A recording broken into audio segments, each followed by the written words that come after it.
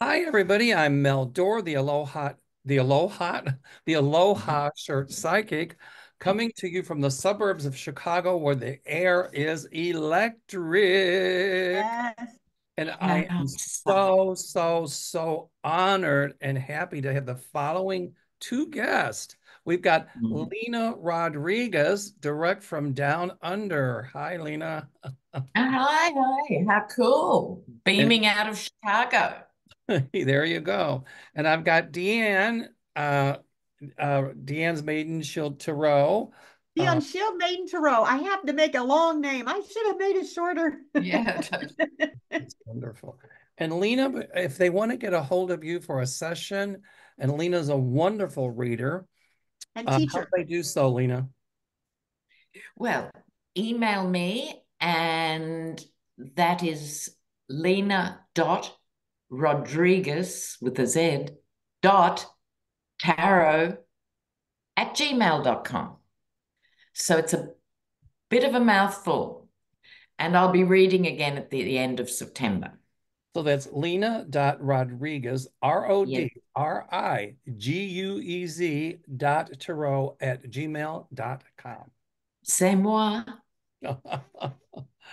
and Deann, how do they get a hold of you? Uh, a couple different ways they can go to my website, which is manifestshop.net. And I, I sell my manifest uh, manifesting oils there. And then they can also book a reading there, or they can call the uh, business phone number or text me at 1 833 277 8105. All right.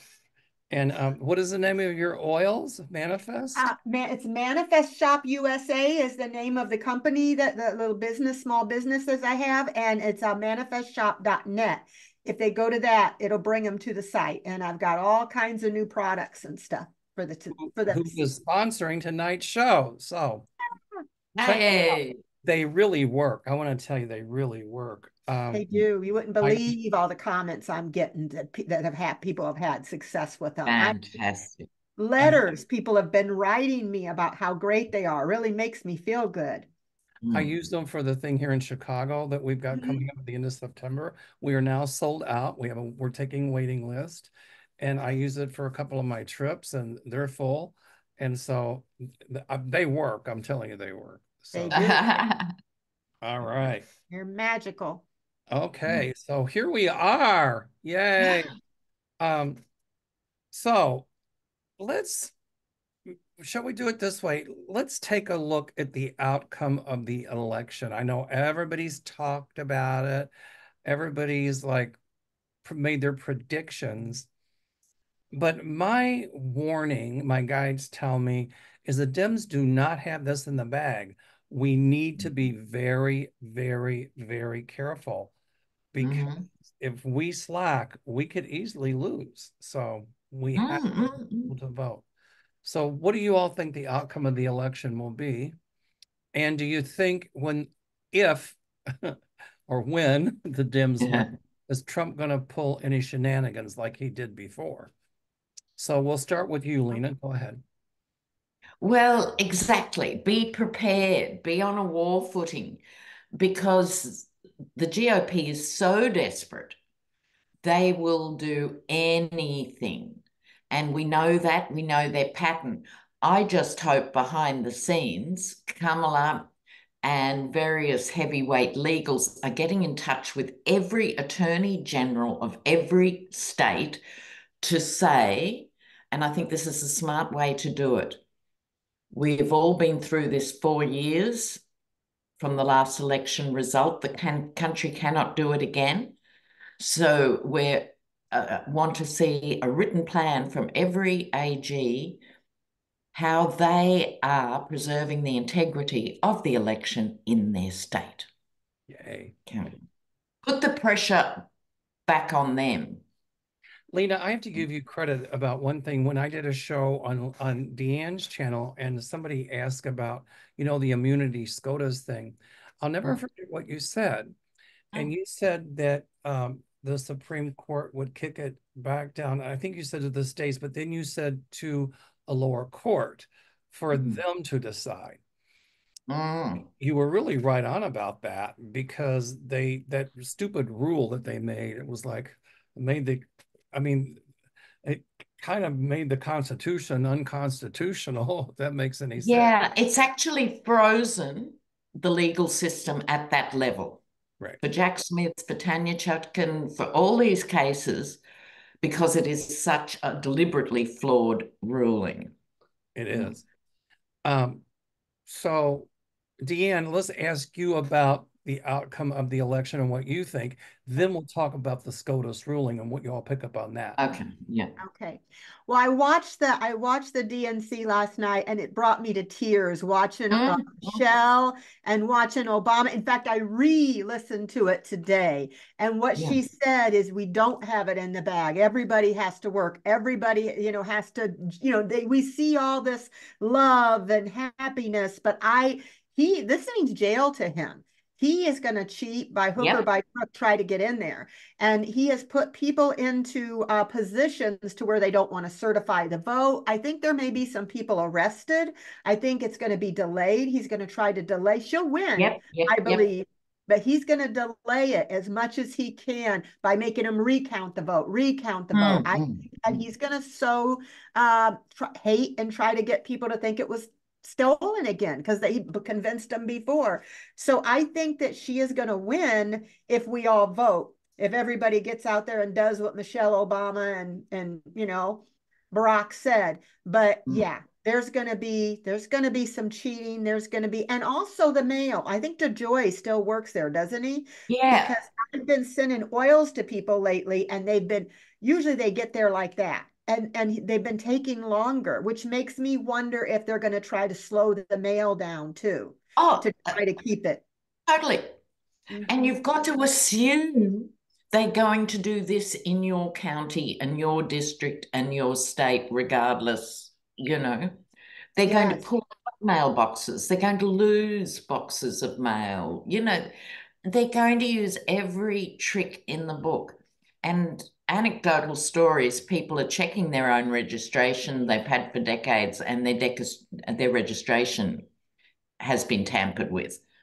Yep. and that's my advice everybody check your registration yes um that's why i don't do like uh i don't want to say write in but that's why i don't vote by mail i go on election day i go to the Mhm. machine i watch them print it out. I watch them put it in the you know the little Yeah. counter thingy. Mm. um and i know it's inconvenient but i would suggest everybody please vote but check your registration. If you have to go to your voting center. And I do think you're right, Deann and Lena, that DeJoy's going to try to slow down the mail, but he's going to get caught doing it. yes. And, and Yeah, but there isn't time in the universe to have this man who's proven his bad behavior. right. Why is he still there? well, I think You know, I understand the postal service is a board, but don't you pull the board aside one by one in a car park, you know, six months ago and say, no, we've got to get rid of this man. I They can't tried. believe he's there. They tried, but I do think they have somebody there now that will, you have to have a majority. I forget how it works, but that will, that will get rid of DeJoy and he is soon to be gone uh, very, very soon. And I see him under investigation at some point, and I see indictments coming out against him. can I, I think a the other exciting thing is the others, the fake electors and stuff, their legal cases are only happening now. And although we're all frustrated, it's taken four years, people have a short memory. I think it's quite important that these cases are happening in front of our eyes now. So if I'm a MAGA file and I think I'm going to save Donald and I'm going to do it, maybe I'll think twice when I see people doing my job getting jail sentences. know. That's a great point. I'm glad they're doing it now. There's, I think there's Yeah. a method to the madness for waiting so long, and people were complaining about it, but it actually works out, in my psychic opinion, for the Dems or for justice, if you will. Mm. I, I'm going to vote as early as possible. And if you get mail in, I think just to put it, you know, if you have to do mail in, I think get it out there as early as possible to give it time. But my Hmm. question to you guys is, is maybe you know, the, the, the Supreme Court made some, remember they made that ruling that, uh, uh, you know, that a president was immune from prosecution when doing, couldn't Biden just get rid of him now since he's the president and they have made him kind of king? Biden won't do He's that. not going to, though. He could Biden's though, not couldn't he? do- Biden's not going to do anything to give the other party any, or to give Donald Trump any, uh, any room to point fingers of blame. He's going to play it by the book. Yeah. Yeah. That ruling of the Supreme Court made it about as clear as mud what's immune and what isn't. Well, if it's personal, it's not. If it's presidential, it's not immune. But if it's per, it's immune. But if it's personal, it isn't. And eh, you know, you got to sift through all And that. it's deliberately obstructive as a law. It's not meant to clear up anything. It's not. But I see that changed. I Yeah. Yes, that turned. It but they're going to have to impeach. They're going to have to impeach and get rid of judges. Yes. I think But that's Like on the that. other side. The other thing I'd advise people to do is is there a relative or a neighbor who might be doing mail in who you can take on the day to the polling booth instead, you know, and stay with them all day and so forth. If you can help someone else physically vote, do it. You know. that's what I was thinking of doing, like getting people to carpool to get people to the Yeah. polls. Um, what I'm gonna Yes. And make it a festival. You Yeah. know, instead of a scary one, just like have a Yeah. tailgate party. yeah. Oh, I'm having a party. If she, when she gets elected, I'm having a party. It's my birthday too, my 60th birthday, and we're first woman president. What a gift will that be? You know? Yeah. 40 DMs. So Huh? you look like you're about 40. It's Oh, I my know, birthday. doesn't she? Whatever you got, throw some my way, would you? Yeah, really. Um, so yeah, I see DeJoy gone as well. Mm-hmm. Um, and I agree. I think that, you know, uh, my feeling is Kamala's going to win by a landslide. Yeah. But I do think Trump's going to uh, try some shenanigans. And I still see he's going to try to mess around with the electors, with fake electors and stuff like that. He But said I- it. He said it. Oh, I don't, I don't know. What did, what did he say exactly? We've got 70 people in place in key states. Yep. They don't even bother being secret. Well, I see that being foiled and overturned. And Mm. he has to remember it's the vice president who certifies the votes. Now, what my psychic light bulb just went on because Kamala is the vice president. Vice president. and when Yeah. she wins, Trump's going to say, Whoa, she she cheated because she's the vice president. She put herself in office. And he's going to go Yes. on and on and on. Guaranteed. And actually, that's a bit of a thing when you think about it. It mightn't look good. They might have to delegate it. Um, well, Oh, that's complicated. Wish I hadn't thought of that. I You know, know, my right? psychic light bulb just went on, and it kind of has shown me all along what Trump would do.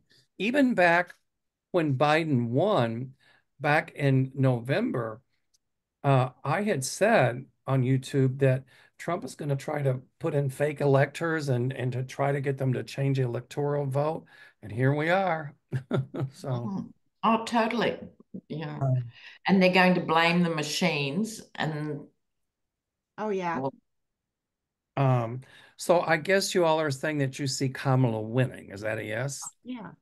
I If see her winning the votes. popular vote, not an issue, but people have to get out. It's the shenanigans later that everyone has to be prepared for. But you know what? I think this vibe is so different It and the momentum is so strong. When they start pulling these stunts, I don't think the American people will put up with it this time. Everyone was so paralyzed and burnt out and exhausted and frustrated. I thought, it oh, no, no. Yeah, And you're I, right. I think that's a change in energy that we've been predicting. Yeah. Yes. This energy shift. And if you don't believe in energy shifts, you're seeing it right now because Yeah. Kamala and Tim Walz are not focusing on uh, anarchy. They're not focusing mm. on xenophobia. They're not focusing on hate. They're not focusing on divisiveness.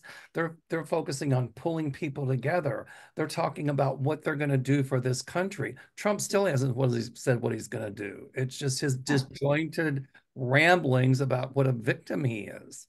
That's and all. We think you're right. Americans are tired of it. We want this energy. This this. I haven't felt this energized since Obama was running. And in fact, yeah. more yeah, energized. Yeah. More. Yeah. Um, so I guess my question then would be, will this energy momentum continue until the election? So yeah, I think. Oh, I think so. Mm-hmm. I think so. I think it's growing in front of our eyes. And it's that's how energy works. Just as pessimism and fatalism are contagious, so is this fever. It's yeah. fantastic. Really and all these bizarre groups for you know, white dudes for Harris and retirees for Kamala and Walz and with mm. Republicans for Harris. I mean, we're seeing things we haven't seen before. Yeah. And it has to happen on that scale. People have to do things they've never done before. I see an official group. I mean, a, a, an official official group, Republicans for Harris. Uh, yeah, yeah, it started. Gonna, it's going to that's going to gain momentum as well. And that would have to do in the head of the Yeti. See, part of the problem for the GOP now is that he he's actually not a political creature. We know that. He's just an oligarch. He's transactional. He doesn't he never mentions the party right? There's no one in it except him. And now that's coming home to roost. Yep. Right. You know, you said a word, Lena, that I've been saying for a long time. It's transactional. If it doesn't have some kind of value to Trump, then it's not yeah. Trump's attention, yeah. according to Trump. He's transactional. Yes.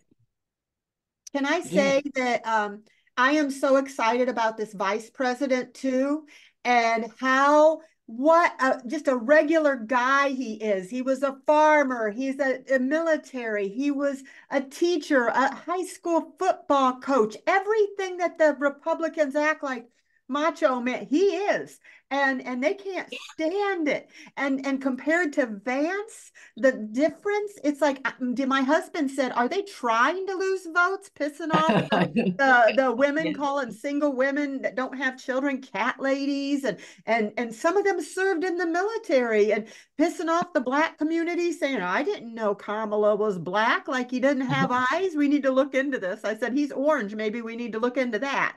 But yeah. it's just it's just I love Walz, and there's I can't wait for the debate between him and Vance because he's going to cream him. I know oh, it. And the thing about Walz, sorry, go on, Mel. He's going to cream him big time. Mm. Go ahead, Lena.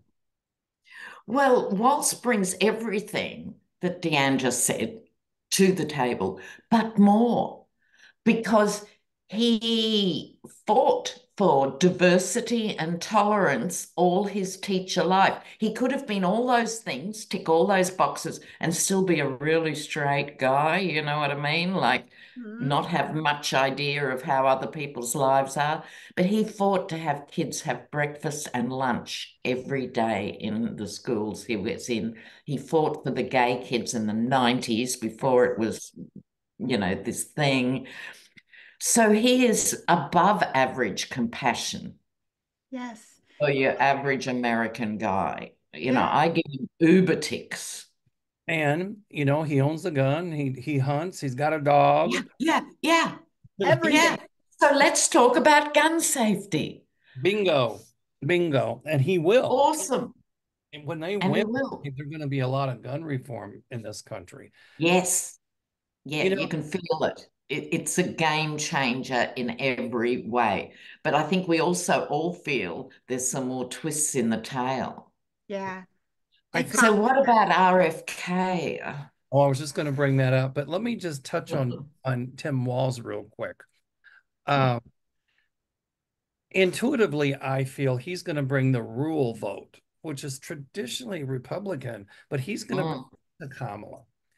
And you know, Trump is starting this smear campaign that she's a communist, they're Marxists, they're this, they're that. Well, excuse me, what is Marxist or communist about giving children who can't afford it hot lunches? What is communist or Marxist about equality for everybody? Isn't that what America is supposed to be about? What is Marxist about, um, uh, you know, lowering prescription drug cost, lowering grocery prices so people can afford to eat, uh, fair taxation? I don't see anything Marxist or communist about that. They're just words. I know. I They're know. just words. And he would have no definition of a Marxist or distinguish between a communist and a socialist. But the problem is, America has been laboring basically since the 30s under this. The whole reason Americans haven't got health care is because of the S word. Like, it's not socialist to give your people health care. Every functional government in the world uses your tax to supply your health care. That's Right. So America has to come to grips with this nonsense argument that it's radical to do these mm. small, compassionate things. Right. And I think the genius of this campaign is to reclaim the buzzwords of liberty and freedom and all those things, because the right's always been good at that. There you go. You know, it's funny. I just was in Europe. I taught a seminar in Slovakia for a couple of days, and Oh, I was wow. in the- I was in the UK. And um, you know, I talked to people about their health care when they asked me what we paid a month for health care in this country. Before Gary retired, we were paying almost two thousand dollars a month health care. It's insane. Insane. And you know, people in this country say, yeah, but in Europe, they pay like 50 or 60% taxes. Okay. But that's still cheaper. You get by cheaper if you pay more taxes than what we're paying a month for healthcare insurance. Exactly.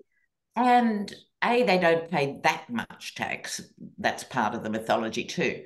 But that's where it goes. And as a health sociologist, I used to have to teach my students the different models of healthcare around the world. The real kicker with the American system is you guys actually pay more to have the worst system. That's my point. We pay more. So in Australia, it's free, cradle to grave.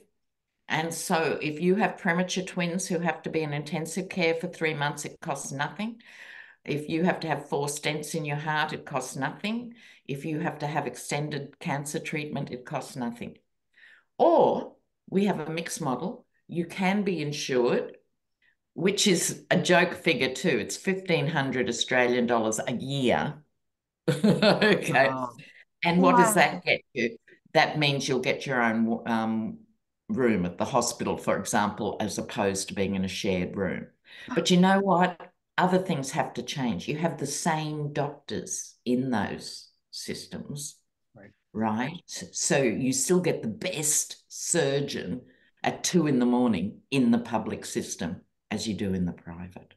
Wow. You know, um, I agree with that. That's a culture change for doctors. I was I going to think- say, yeah. I think um, I would rather pay more in taxes because you end up saving money Exactly. compare Exactly. you have to pay for healthcare costs. I'm on Medicare now.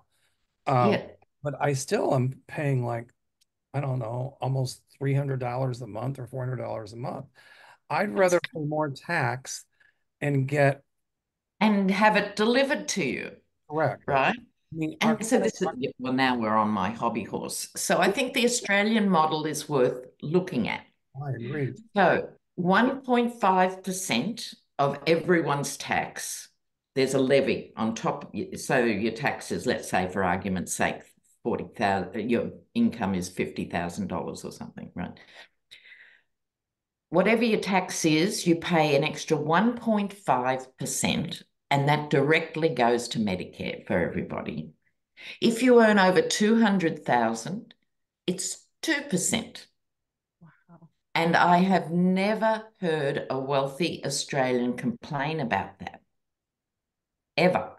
How could you complain about it? well, you can sleep at night knowing that your next door neighbor's not going to die on the side of the road with a preventable illness. You know, like, no, that's where you should feel pride in your nation for well, delivering. 12 years ago, I had triple bypass surgery. Mm-hmm. I had insurance, but the surgeon, I think, charged like, um, I think it was 25,000. Insurance covered it. But with everything, this is 12 years ago, OR costs, hospital, everything, it was like $600,000. Stop. And that's when you, what, and the biggest cause of foreclosures on homes in America is medical. Yes. And yet people say, oh, I don't want that socialist medicine. You yeah. know, it is a crazy situation.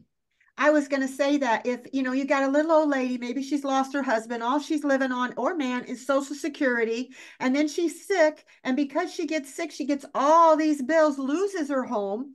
And then she's out on the street, and then you're it's a crime to be poor here now. They're wanting to make it yeah. a crime to be poor. Yeah, yeah, for and, sure.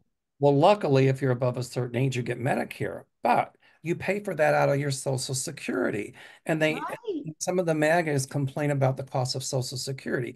Excuse me. Social Security, depending on what you paid into it, for a lot of people is about a thousand or fifteen hundred a month.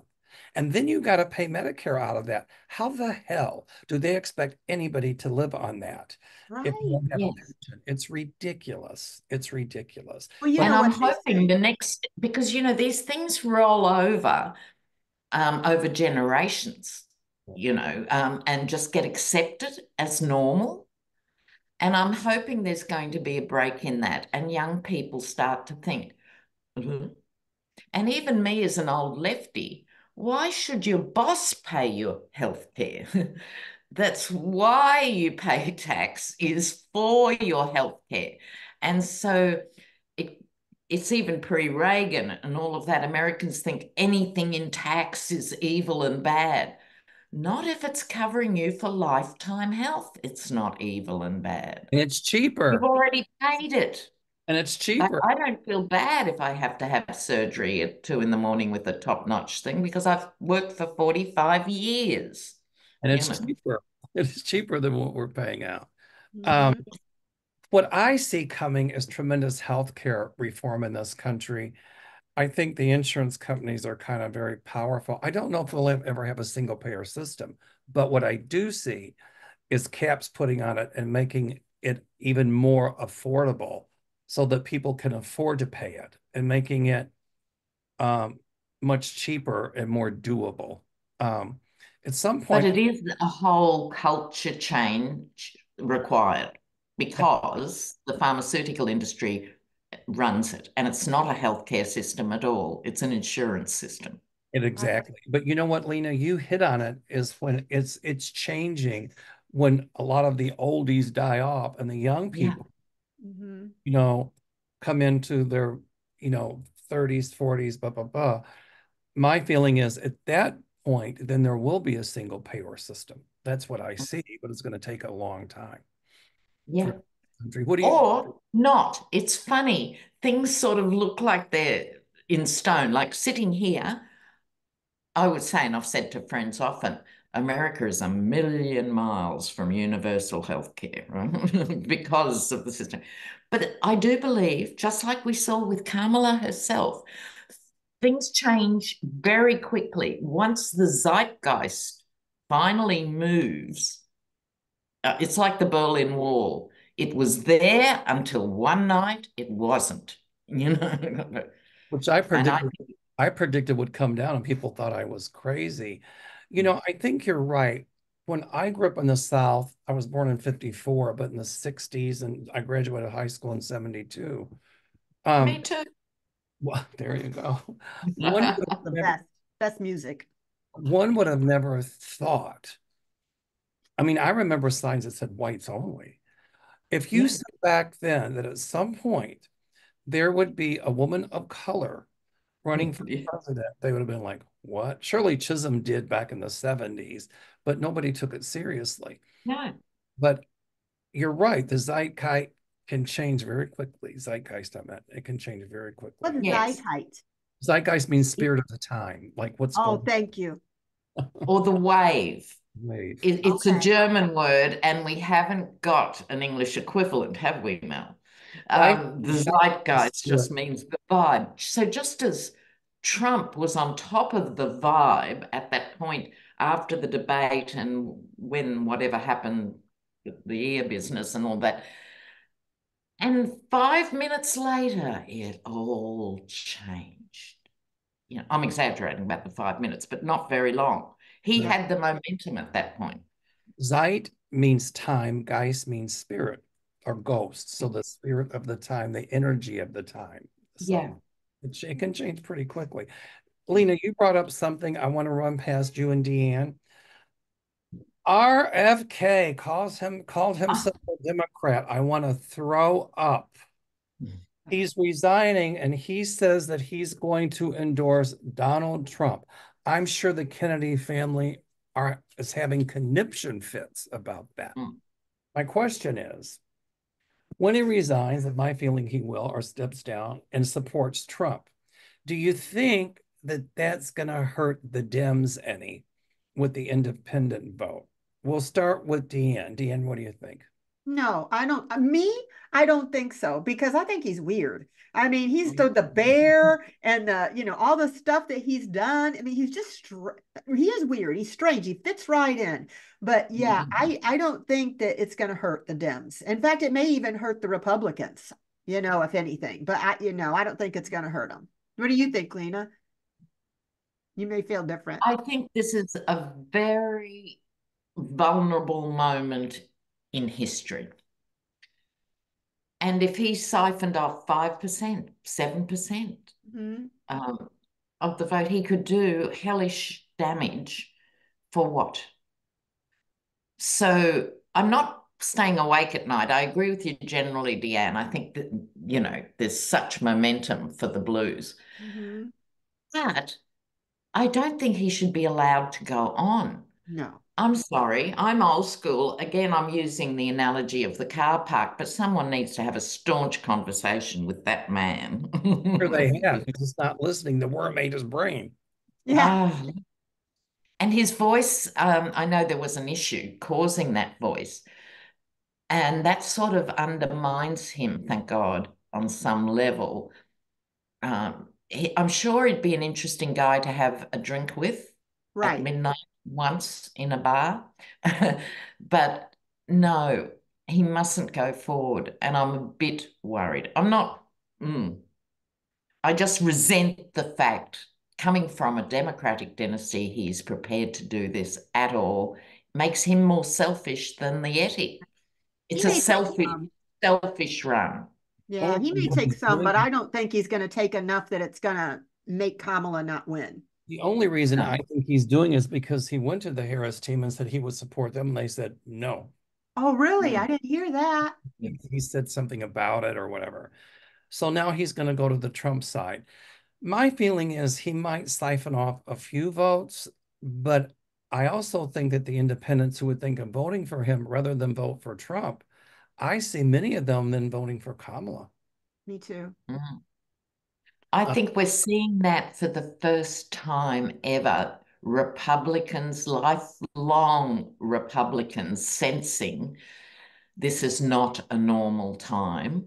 Right. And even if I only do it once, I'm gonna. Yeah. Yeah. And I think once they do that and the sky doesn't fall in, you know, so for example, in Australia, we had conscription, Vietnam, because we follow the US into every armed um, conflict, you know. Right. So we had full conscription here. And I know families whose sons were conscripted, and then a Labor, we had an election, a Labor leader got in and stopped conscription. And many of those families were conservative families. And they have said, I will never vote conservative again because Labor stopped my son going to Vietnam. Which was And a- I think this could be one of those elections of people thinking, I don't want to ever see a Trump lookalike in my party if I'm conservative. Well, what happened I in think it's great. I think is a warning uh, to England. It's a warning to Australia. It's a warning to Canada. It's a warning to all democratic countries because Oh, yeah. you know, for a long time we thought something like this couldn't happen in America. Yeah. And we are. And it can happen anywhere. So people have to be diligent. People have to learn not to let somebody play on our xenophobia, on our fears, not to let our emotions make our decisions, but let our common our intellect make our decisions. Yes. And that's the Yes. zeitgeist that I that's the that's the spirit of the time that I see changing in this country, where we're stepping out of the fear and we're coming into, okay, let's roll up our sleeves, get to work, um, and see what we Exactly. can do. And know? Yeah, for 'cause young people, go on, go on, dear. Oh, I was just saying, I'm seeing if I put them side by side, I'm seeing on Trump's side hate, fear, racism, division, revenge, and this side I'm seeing inclusion, happiness, joy. What Mm. are we going to do for you, not me? You know, what are we going to do for the people? I see it just, it's like if there was, t- t- you see them side by side, why would Night anybody want to be over here? yes. know? Yes. Don't make I sense. think it's extraordinary, but I was just going to make the point about young people. Um, we know from every sort of study, if people don't vote young, they tend not to ever vote. Mm. If they vote young, they tend to keep voting. Right. So this is massive in terms of keeping the momentum going into the future. It's really, really important. And as a generalization, the US has kept its um, democracy limping along with barely 50% participation. You know, it's actually pathetic.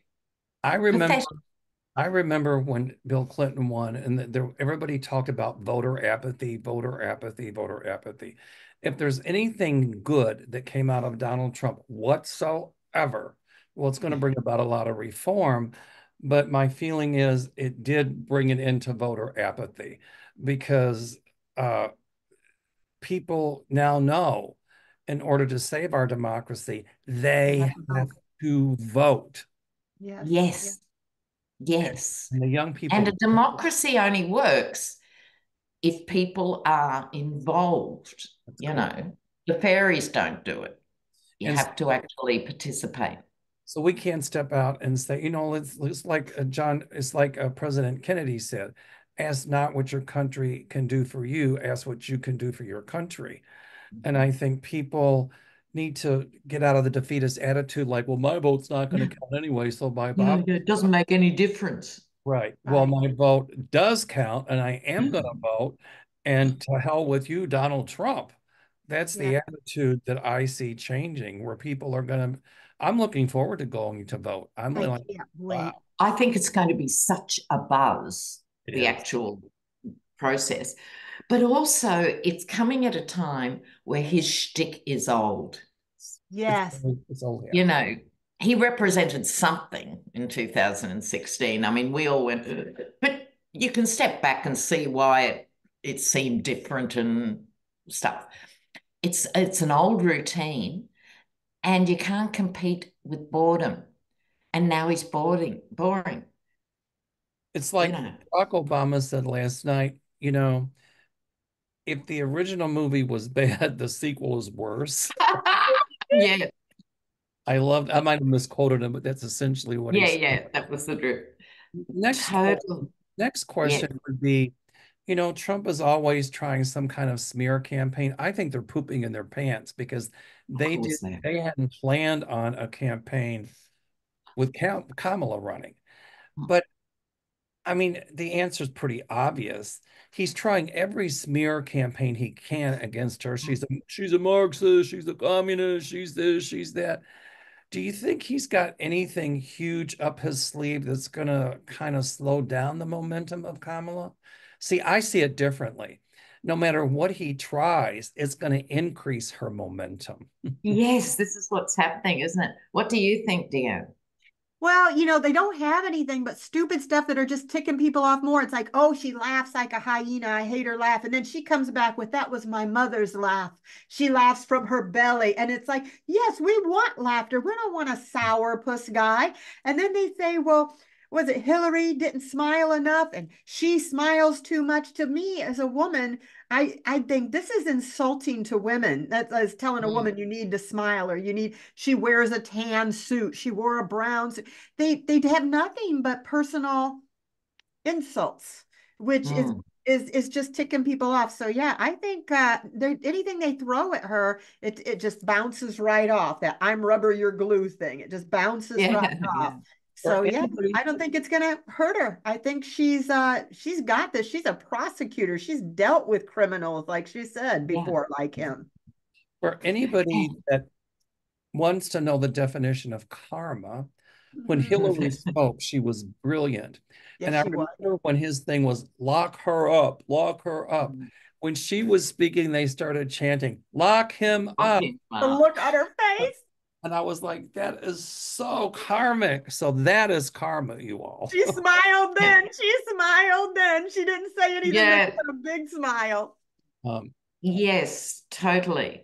I mean, this, Uh, because when Trump was appearing in New York, I was in New York and I, I went to pay the pilgrimage to the courthouse. On the one hand, it was great. There were only six or eight people there, four on each side.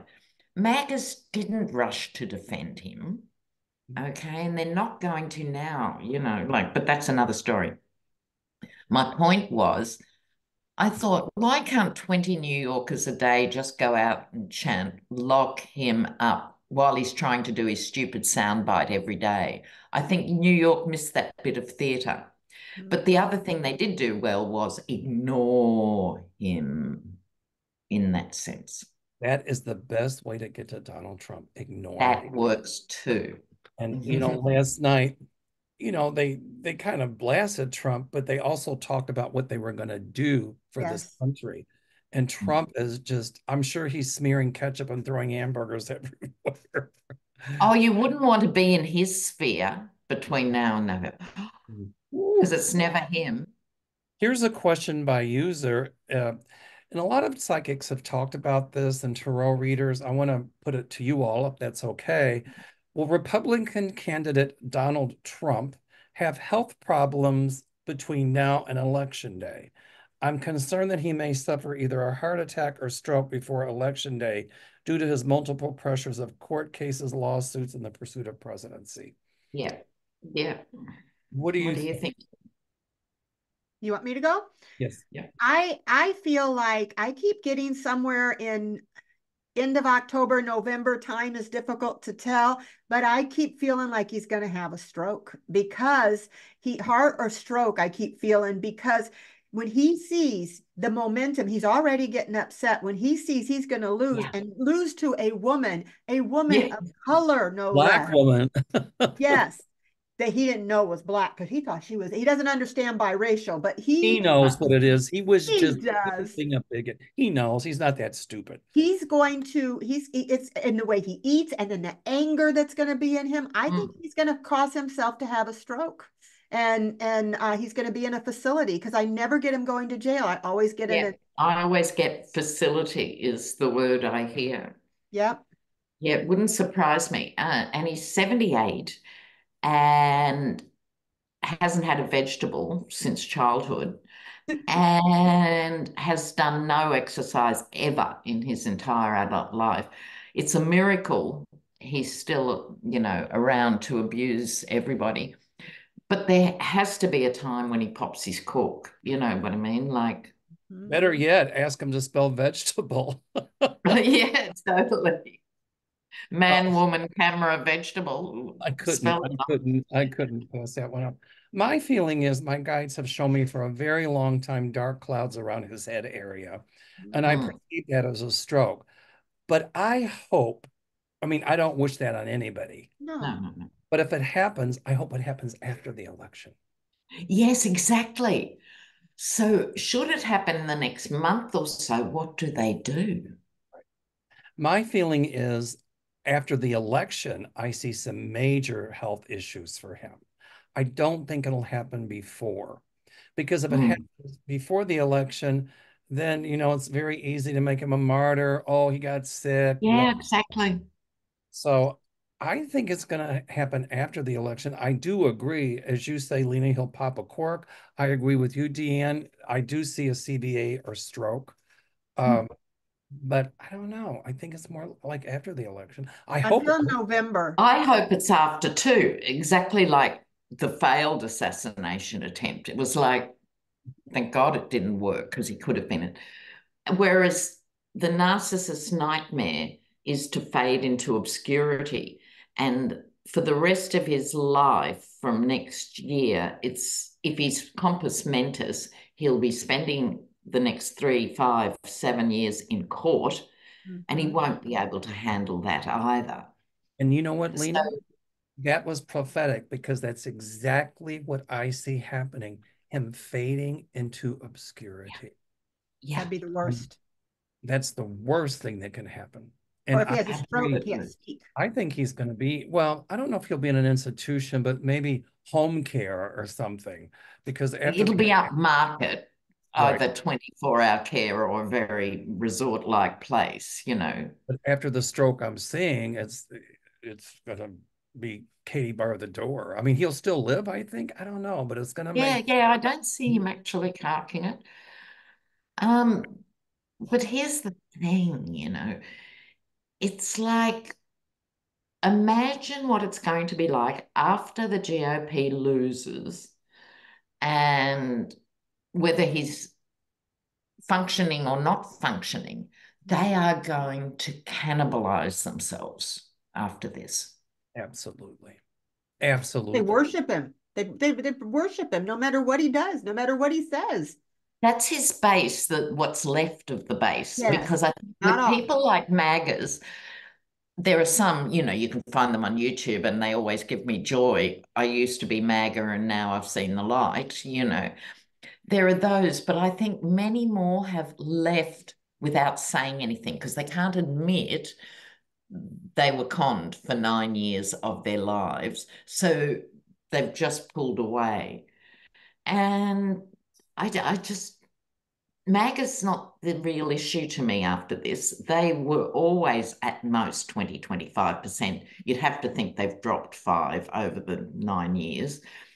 The real problem is Trumpism. Right. Um, being rude, name calling, not not cooperating with anything, you know, that just that immature, vulgar behavior. I blame Newt Gingrich for that. He was the one who lowered the tone to the gutter years ago, paved the way for Trump. So it's how they spring back. Are they going to put their grown ups in and start, you know, working? Mm-hmm as public servants, or are they going to continue the circus? Well, I think you hit, I think I agree that we have to analyze what caused this Trumpism, mm. what causes vulgarity. And I think it started with Newt Gingrich and it just kind of, you know, um, it grew slowly, but here we are. I think we have to analyze the cause of it and how we can prevent that in the future. You know, it's like I, I heard this story about Nazi Germany, and there was a village, I forget where, but you know, uh, there were a lot of people there that were Nazis, and they actually turned in Jews. But after the war, they said, and that same population in the village, minus the Jews that went to the death camps, there was no one was no Nazis at all. Nobody was. No. But it was the same people.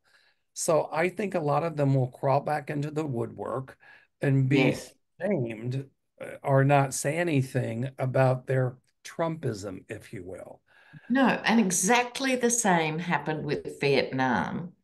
If you were on the streets protesting the draft and protesting the war, you had the full weight of the police down on you, mounted police, hundreds arrested all the time, families split Wow. Um, it was fully dramatic. How dare you say this? Of course, you know, we've got to be in this conflict.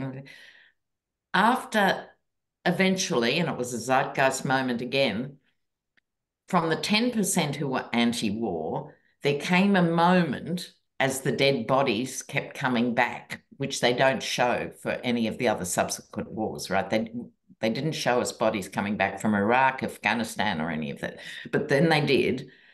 And after a period of time, people, eh, a majority objected to the war. But if you ask any of them now, that's my point. Oh, I was always against the war.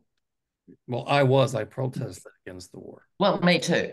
But, you know, right. they weren't. They weren't. And they were locking out their own sons. How dare you try and avoid your duty and all of this, you know, yeah. total. Here's a good I was a baby, so I don't remember, but I heard about Yeah. Well, I, I grew up during that era. Here's, you know, um, protest became a way of life. Um, mm. But at least our voices did change a lot of mores, and it's kind of frightening to see it swinging back to what it was before. Yeah, um, having the same fights 50 years later. It's exhausting being a light worker in this lifetime. this is a really good question. I was just in Slovakia and I was about three hours drive from away from the Ukrainian border. And it was this little town just kind of nestled in the foothills of the Carpathians. It was beautiful. Hmm. A lot of people there are nervous about Putin. And this is a very good question. Hi to everybody in Slovakia. Hi to people in the Czech Republic. Hi to people in the UK. Hello, Australia. Um, anyway, it says, Hello, Mel and lovely ladies. Uh, you've been to Slovakia recently, Mel. There's a strong push for Rus from uh, Russian assets in East Europe to go back to a dictatorship installed by Russia especially in Slovakia, is becoming very obvious. How do you see this panning out? Thank you from a fan from Europe. I have mad respect for Kamala and all Americans fighting for your freedom. Right. Shall we pull some cards on this one? Yep. Sure. Are they wanting to they're wanting to make a dictatorship, you're saying, in I can't say it. Slovakia. Trying to push Russia. Slovakia. Will Slovakia become a Russian satellite again? Is that the question? Right, with the assets and the way that Russia's infusing money so they can control the country. Okay. Mm. Can I, I'll I'll start while you guys are shuffling. Yeah. You know, when I was doing my seminar, we were talking about Ho'oponopono. That's a Hawaiian idea of forgiveness and making restitution.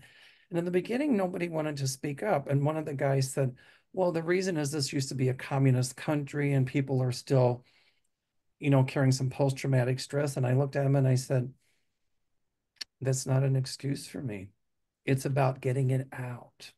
And then I said, mm. here I'm a gay man. And I came out essentially mm. Eastern Europe, right? mm um, I wasn't being cocky about it.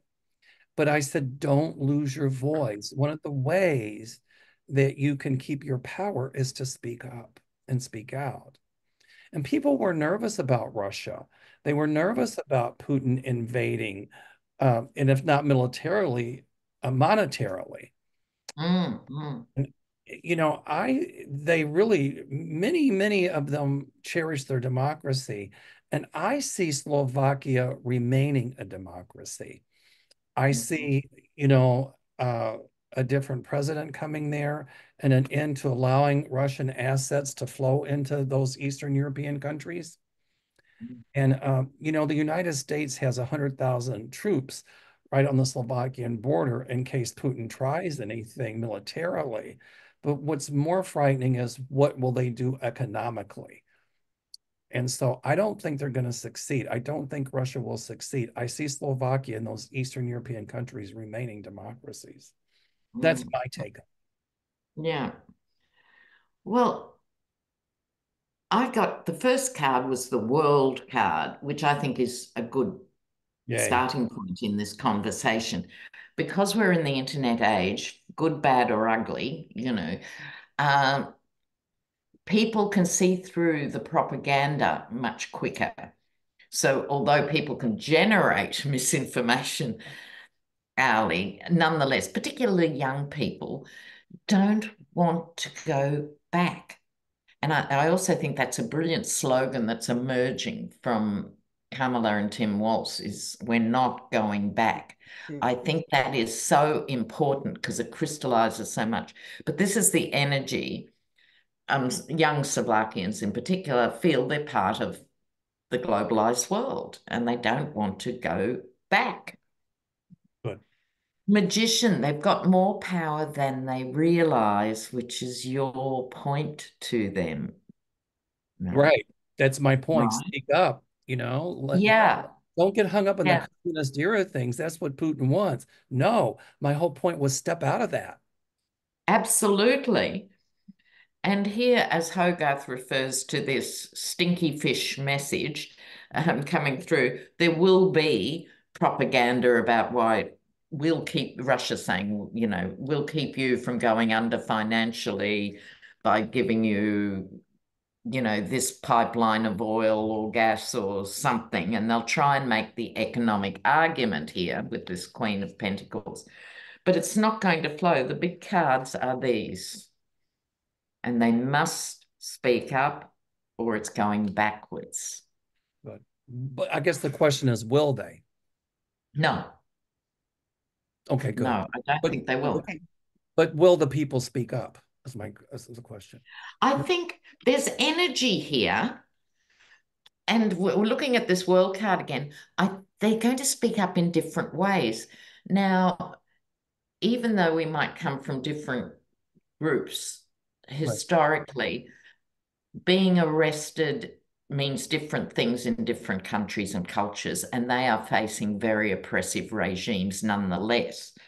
But I think what this is about is the keyboard warriors. They can now speak to each other without having to have a drop, you know, on the bus stop inside the umbrella. Like, you know, it's a different world now.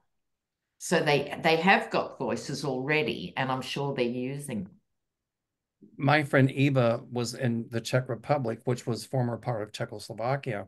Hmm. And I asked her what it was like because she was there during the communists. And I said, "Could you say what you want?" And she goes, "No."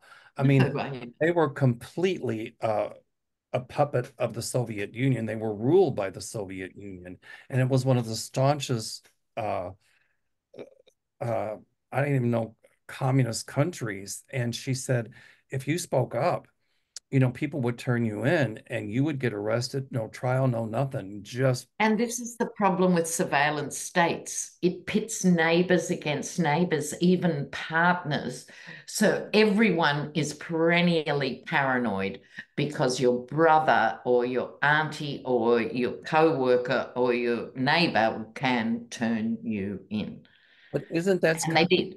Isn't that kind of what was going on here when uh, in families, you know, fam family members turned against family members because of politics, maybe not turning us into the government, but family members not talking to each other because of the Trumpism. Yeah, it's shocking, but I don't think it's the same dimension. Well, it's a different dimension totally. It's a different dimension, but it's the same underlying dynamic, which is dividing people. Correct. Yeah. And making people suspicious of each other. Deann, what do you think? Okay, so I don't know how close I am here because I don't know a lot about Slovakia or this. I love cold reads. So we'll- I'll tell you- It's I'll tell you what I get, not knowing anything much about it. I get this Slovakia, I got instability and maybe uh financial instability and and maybe that I don't know if they're trying to, you know, will help you, you know, with money, with finances, whatever, but I get a lack of achievement uh that they're not going to be able to go through with this.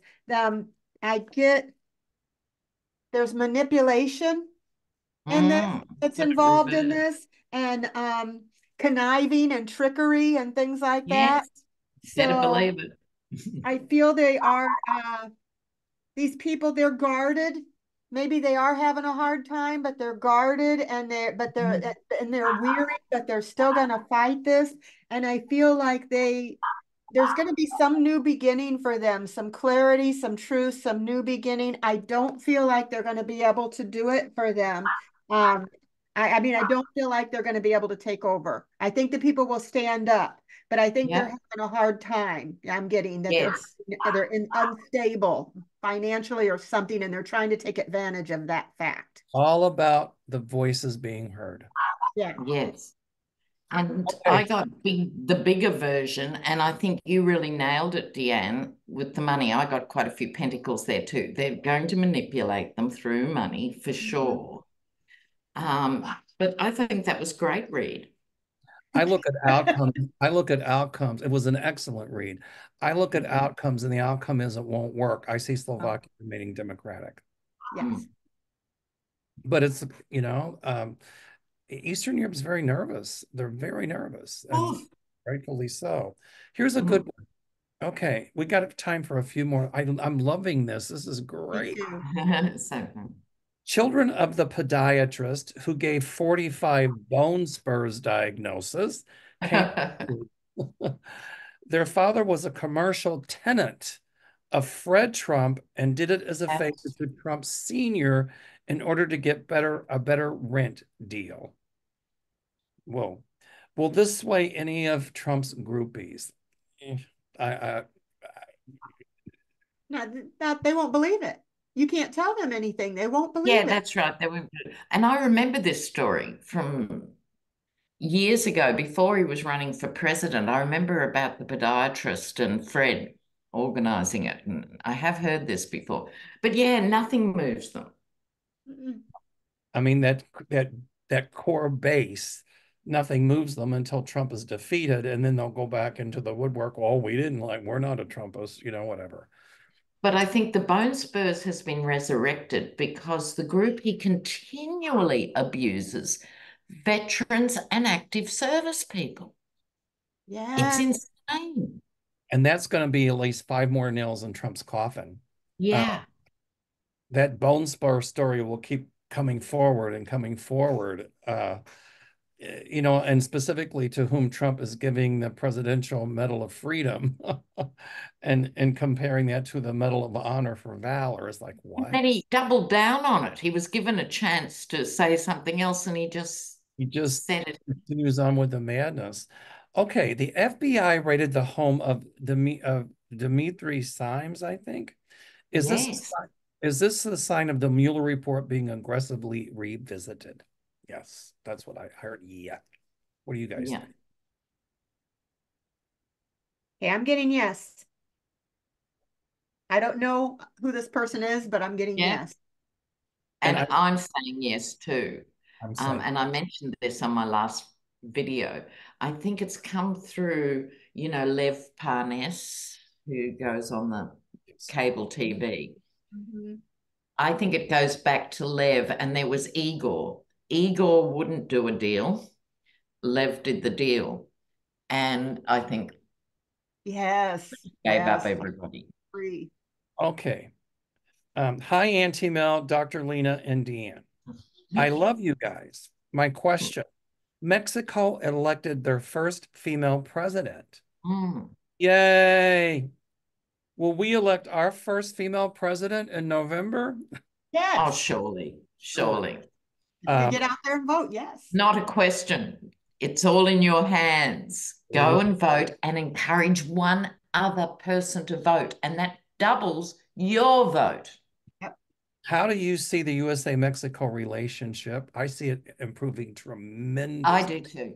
Me too. And Cuba, hopefully. Yes, at some point I've been saying that, you know, I see a Cuba Libre, a free Cuba, Cuba, Mm. and uh, I see Kamala really working to get a better working relationship with Cuba. And uh, at some point, I see uh, a free Cuba and a democratic Cuba. And my feeling is we'll see it in our lifetime. Mhm. Yeah, I think it's another one of those. It's the longest embargo, I think, in the world. You Right. know, 70 years or some nonsense, and Cuba's tiny.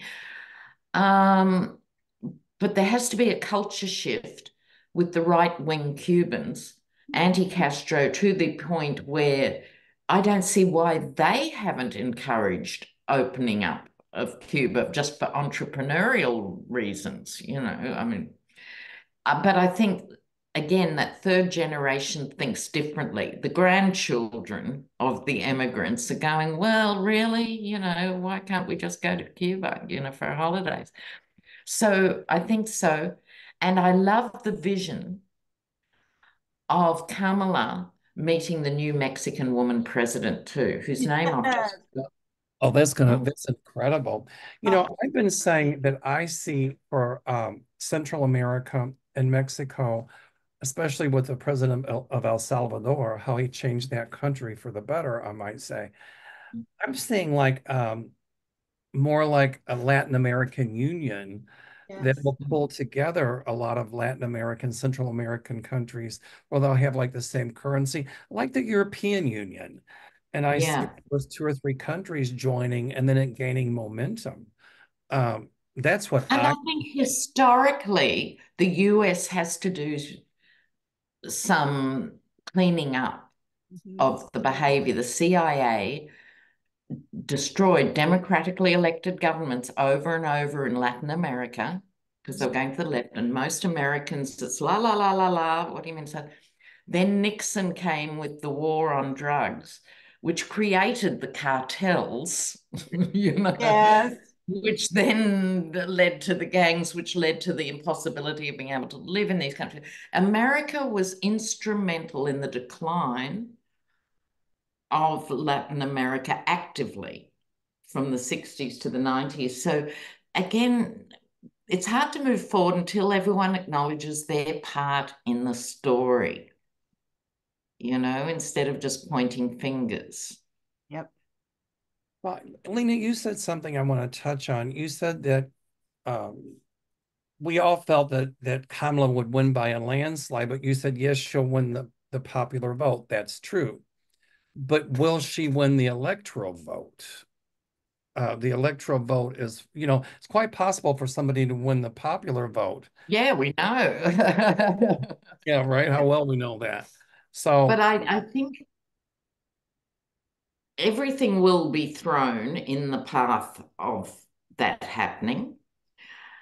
Um, but again, like I said just earlier, I think people wouldn't tolerate quite the same behavior like when the, the vote was so close with Gore and stuff, and then Gore just stepped back, Mr. Nice Guy, and um, Hillary was defrauded, you know, in many ways, including the Electoral College. I think they're going to sense on some level, despite trying everything, they cannot get away with it this time. So I think she will get there. Yeah, for sure. Mm-hmm. But no one can relax for a nanosecond, and this is not over on Nose- November 6th. That's right. No. That's right. What do you think, Deann? Oh, I, I, I just lost. I, I, I don't know. But what would say? Repeat the question. I was listening to, to. I said it's quite possible for someone to win the popular vote. Oh yeah, yeah. Will they win the electoral vote? Yes, So- I think they will. I think they will. I they, they've got enough. And I I love the countdown when they did that countdown, the roll call thing. No, no. Why do you guys think, and I'm I'm a little confused why California, they all were given, I have this many votes, this state, this many votes, and when they got to California, they they didn't give a comment. I was curious about that, if you guys knew why that was. I can't remember that. I didn't And know. also, did you notice Lil Wayne when he came down with the braids and stuff? He he was on Apprentice, and I think he got a pardon from Trump, and he's supporting Kamala. Mm. Yay. Everyone is. It's so interesting.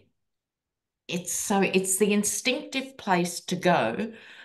Either, you know, it's because of them policies and that's what you do. But for other people who are exhausted by the circus, they've finally got an option. Mhm. They know they can get off this nightmare if they're prepared to go and vote blue. And I think there has to be millions of Americans who are Tired of it. Tired They're just it. tired of it. And people, you know, for a long time said, well, I'll, I'll, I'll, you know, it's, I'll, I'll vote uh, for the best of the two evils. And I think people would just hold their nose and vote. And in this election, I don't see anybody holding their nose and vote. No, it- it's joy. She has conveyed the joy. It was an impossible task, but she's done it. And I would say, if this was her three years ago, if Joe had done this so late, it'd be much, you know, it'd be complicated and the timing. I mean, How dare we doubt the universe, right? The timing's perfect. People have you know, the concentration of a caterpillar, the average modern human. So it had to be this compressed. You One know, question, and then Yeah. we'll, and I do have to go. Thank you. I mean, no, no, I'm- I'm- wish we could keep on doing this. Yeah, I know, I got one too, but I'm, I'm gonna wait. Okay. There's been a lot of talk about, you know, just direct election of the president in this country and ending the electoral vote. And it's always brought up by the losers, of course. But Mm. do you all see a time in this country when we will have direct election of the president, free from gerrymandering? And also, I guess, will there be an end to this whole electoral thing? It made sense when the founding parents did it. I'm not so sure it works for the zeitgeist now. What do you guys? Mhm. Uh, we'll wait for Deann and her pendulum. I feel, yes, uh, there will be an end to the electoral vote, but it won't be anytime soon. I mean, I think it's gonna be beyond five years that that may happen. Um, let's see, what be six, seven, eight. I'm getting about maybe eight years or something like, it's gonna be a while. I don't know how That's long. probably realistic. That's probably realistic. It'll be after the 2028 election. Mhm.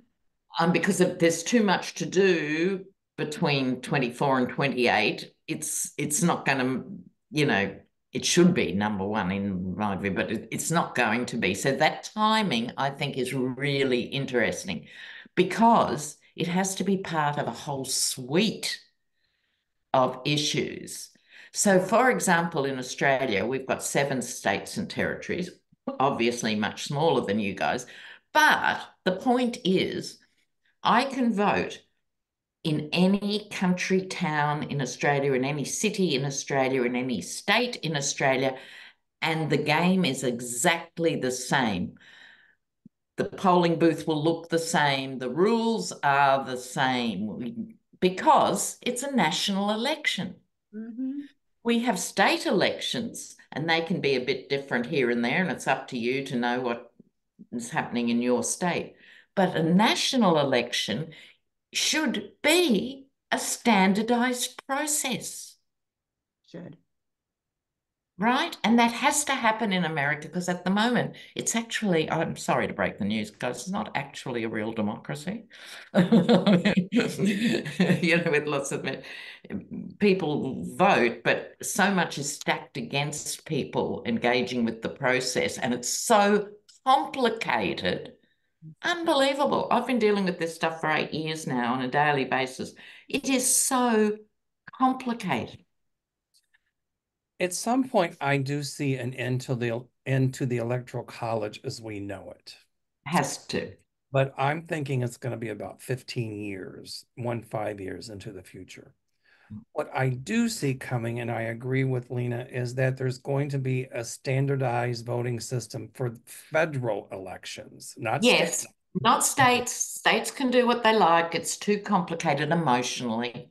But for national elections, I, I see more standardized, but I see at some point an end to the electoral college. Uh, but I also see uh, an end to gerrymandering the way it's working now. I see it being more fair and not to use it for all the BS that they're using it for now. Absolutely. And that brings us to what America really needs. I think there is something called the Federal Election Commission or something, but they need to have more teeth. So you shouldn't have to go to the Supreme Court, particularly now, but even in the good old days, you shouldn't have to go to the Supreme Court. The Federal Election Commission should be able to look at maps and then the new maps and a panel of you know legal informed um, people make a decision whether you're adjusting that because suddenly you've had a demographic change that's happened in Texas which is why I think Texas is going to end up purple um, there are legitimate reasons to shift things sometimes but gerrymanders gerrymander I grew up in a gerrymandered state and so I know exactly what it looks like and exactly like it feels. And it took us 20 years Wow. um, after our Trump to stop that nonsense. But this is a modern world. It shouldn't take that long. This Yeah. has been incredible. Uh, Mhm. Deann, thank you. I asked Deann if she'd get a hold of you, Lena, to set it up. Let's do this again, please. I really, really Yeah, sure. Let's do it in about a month or something, three or four weeks. Okay, there you go. Um, I I will look forward to it. And so, Lena, how do they get a hold of you again? So my email, which is under most of my videos, um, email me about a reading. Okay. And you'll put up the email too. I'll put it up on Thanks. go below. Go to everybody's channel, thumbs up, subscribe. Um, Deann, how do they get a hold of you? Uh, they can either go to my website, manifestshop.net, um, or they can call me at 1 833 277 8105. And if they like, they could also email me at deann's shield maiden tarot at gmail.com, whichever way is easier for them. And before we end up, we uh, we are sold out for the Chicago event. We are taking uh, names for waitlist. I have openings on my for my Peru tour next September of 2025. Very few. So if you want to go, it's going to be an incredible tour. Uh, call my office. And I also have openings for Iceland in October of next year, and also on the Italian French Riviera cruise in May. If you'd like, Oh, stop. yep, That's the one I want. uh, that's going to be an incredible trip as well. Uh, Oh, they're all going to be amazing. That trip is on a is on a yacht that holds 238 people. Every every cabin, there's no there's no inward cabins. In other words, every cabin has a balcony, and every cabin comes with a butler. Ah, Oh my God. So, I wouldn't want to go home. and it's not, know that's true. it's not- All right, guys, I have to fly. All right. Ciao, So ciao. It's been such a buzz. until we meet again. All right. Love you, Lena. Thank you so much. Love you guys. Bye. And go Kamala Walz. Yes. All right. Thank you. All right. bye-bye. We will have to